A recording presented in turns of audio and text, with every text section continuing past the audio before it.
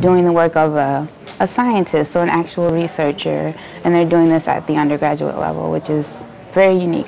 I help connect students with undergraduate research opportunities here at NIU. What really makes a good elevator pitch is something that is brief and precise and interesting that catches the audience's attention right away. Make their pitch in a way that your grandmother could understand it or anyone could understand it, not just someone necessarily within your field.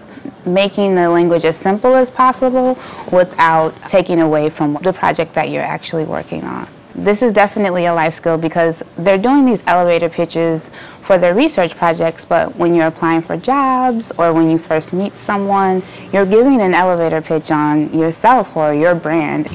My name is Lauryn Bodemer. I'm a senior in the Communicative Disorders Department here at NIU. My research is focused on gathering normative speech data from 21-month-olds using a potentially informative measure called syllable structure level. I'm working with Dr. Cheryl Morris from the School of Allied Health and Communicative Disorders. The syllable structure level measures the complexity of toddler speech by breaking their vocalizations into syllables and analyzing the different positions and types of consonants that they use. Uh, this research is important because syllable structure level provides the opportunity for early identification of toddlers with speech and language impairment, which results in earlier intervention, making for better results in the long run for individuals with communicative impairments as well as those around them.